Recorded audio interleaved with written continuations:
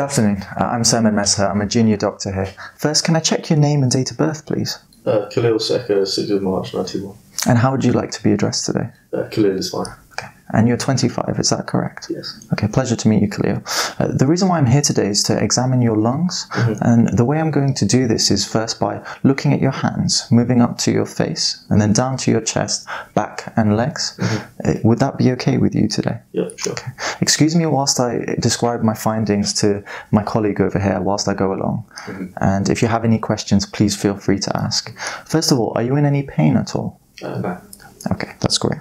So, on first inspection, Khalil appears comfortable at rest. I can't see any oxygen or any inhalers by the side of the bed.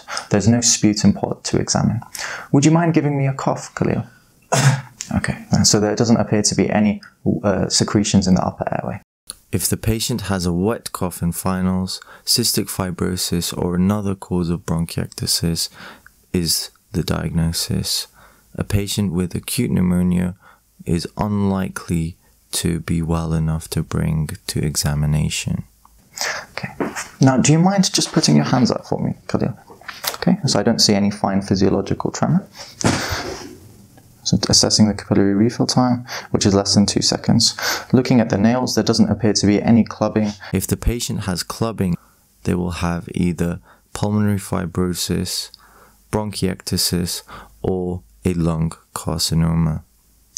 If the patient had a dry cough, this leaves pulmonary fibrosis or a lung carcinoma as the possible diagnoses. or any koilonychia. I can't see any tar staining on the fingers. Uh, looking at the hands, there's no venous engorgement and there's no wasting of the first web space. Do you mind turning your hands over for me? I can't see any palmar erythema at all. Now, can you just cock your wrists back and hold it in that position? And there's no CO2 retention tremor. Okay, now I'm just going to feel your pulse on the right side. You can relax your left hand.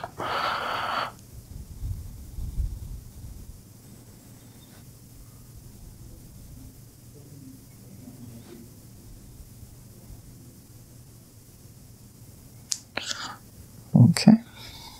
I'll carry on relaxing. So pulse rate is approximately 72 beats per minute.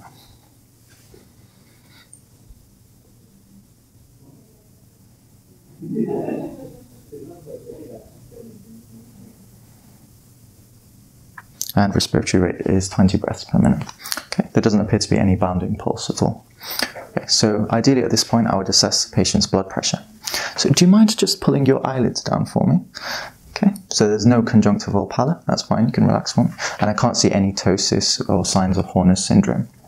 Patient doesn't have a Cushingoid appearance, and there's no nasal flaring or pursed lip breathing. Can you just open your mouth for me, please? Okay, so there's no oral candidiasis, and there's no central cyanosis, which is visible. Okay, now do you mind turning your head just over to the right hand side?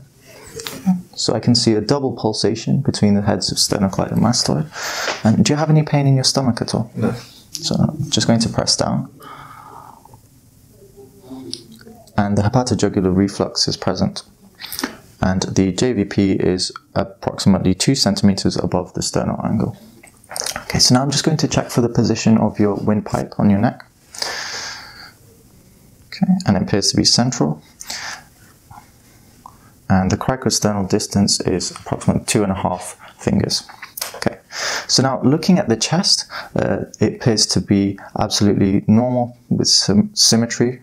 Uh, there are no scars from surgery, and uh, I can't see uh, any obvious chest wall deformities. Do you mind putting your hands up for me? Okay, so again, I can't see any pneumonectomy scars on underneath the axilla on both sides. So now I'm just going to feel for your heartbeat which is present in the fifth intercostal space midclavicular line. And I'm feeling for any parasternal heaves, which could be as a result of respiratory disease, which is not present. Okay. Now, what I'd like you to do is breathe all the way out for me and then take a deep breath in. That's great.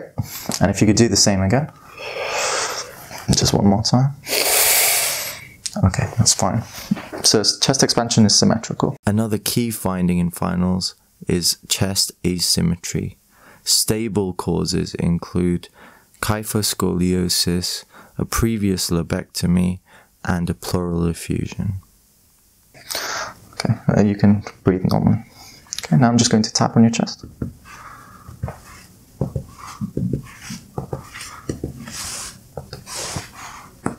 Okay, and I'm just going to listen. What I'd like you to do is take a deep breath in and out, and then do the same every time I put the stethoscope on. Thank you.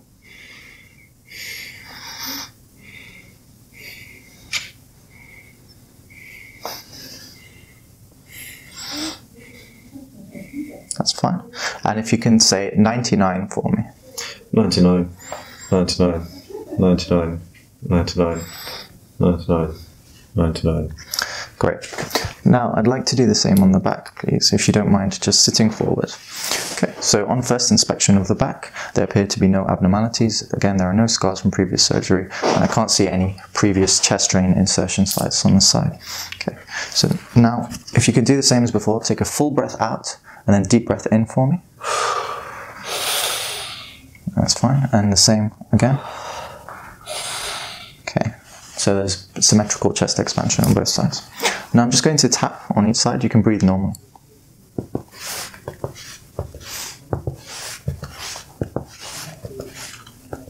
Okay, and can you just try and put your arms across your shoulders for me?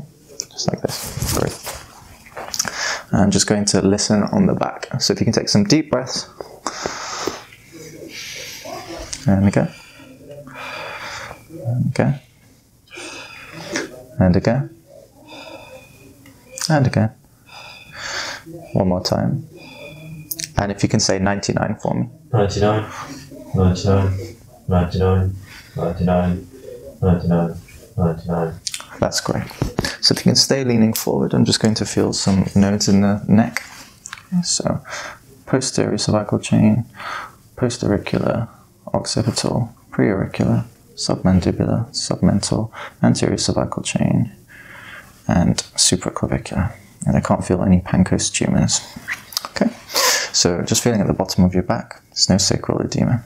And you can relax back for me. So looking at the feet, can't see any obvious edema uh, on either side, and there's no asymmetry, which would indicate a deep vein thrombosis. Thank you very much. Thank you very much. Can you briefly present your findings to me, please? Yes, uh, so this was Khalil. He's a 25 year old gentleman. I examined him today. I couldn't find any positive findings.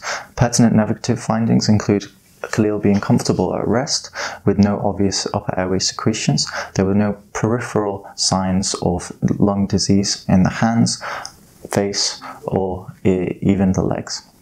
Uh, looking at the chest, there was good uh, chest expansion on the anterior and posterior chest, as well as uh, being normal vesicular breath sounds in all lung areas, as well as no added sounds. In conclusion, this was a completely normal uh, chest examination.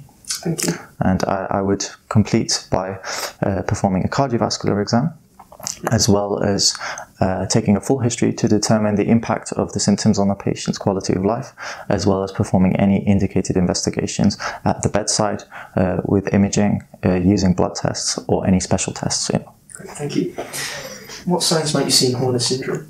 Uh, yes, so uh, that would be due to disruption of the sympathetic innervation of uh, either side of the face or both sides, uh, and that would result in uh, miosis, which is constriction of the eye, as well as ptosis and an, a lack of sweating on that side of the eye. Okay, and what sort of differentials might, Um, so this could be due to either central disruption of the sympathetic chain or peripheral.